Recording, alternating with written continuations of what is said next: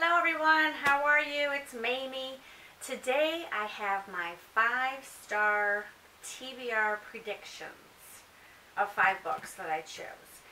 This was originally on Mercedes' channel on Mercy, uh, Mercy, oh my goodness, Mercy's Bookish Musings, is that right? I get all these channels mixed up, so forgive me if I just butchered that.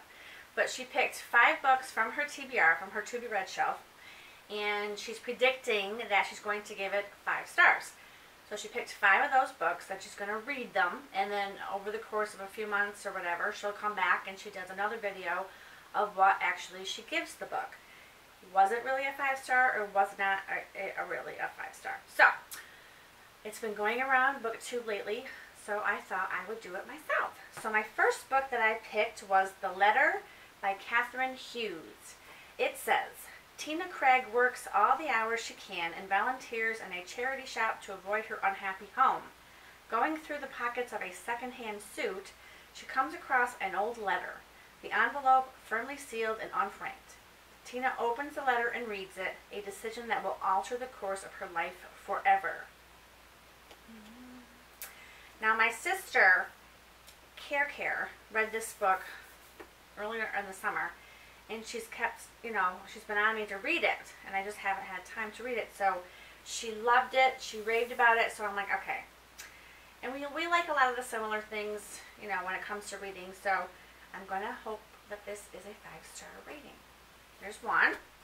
And then, I, as I raved about Beatriz Williams' A Hundred, The Hundred Summers, um, Along the Infinite Sea was another book that the friend that uh, originally recommended this book, she said this one was better than A Hundred Summers. So, I'm hoping this one is just as good.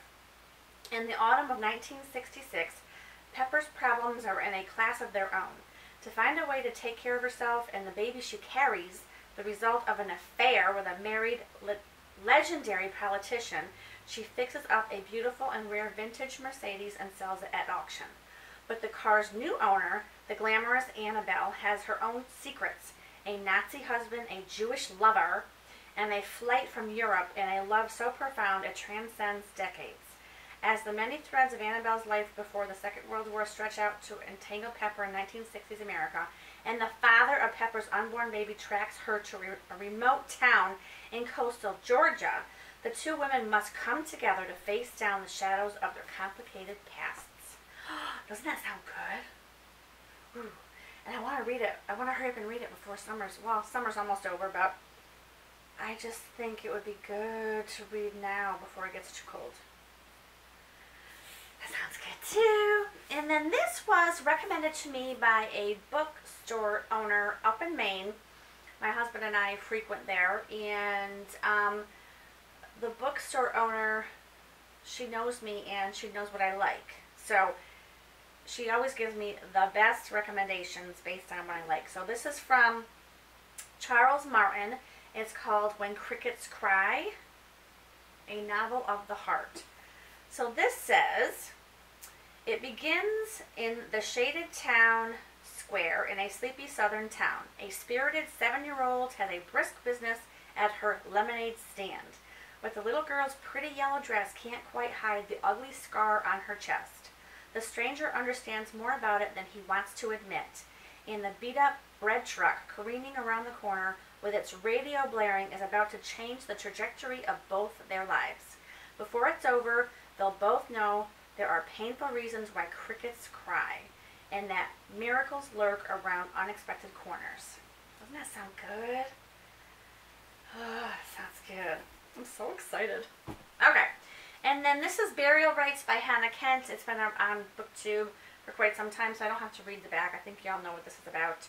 Um, every once in a while, I like a, a little thriller or a little bit of suspense, so I'm hoping this will suffice for that craving. Hopefully it'll be a five-star um, rating as well. And then my last um, prediction is this Chunker, another huge book by Rosamunde Pilcher. 564 pages is my next read that I'm, I'm reading, going to read right now is September. So, this is huge though, so we'll see how long this one takes me. But those were my five predictions that I hope are five star. But I'm going to be honest and I'm going to give it my full, you know, my full honest opinions at the end. And I'll come back whenever I finish these five books. I'll come back and do another video and tell you what the real result was. So this is kind of fun. So what are your five predictions of five star um, TBR books? Let me know in the description below and I will talk to you soon. Thanks for watching guys. Take care. Bye.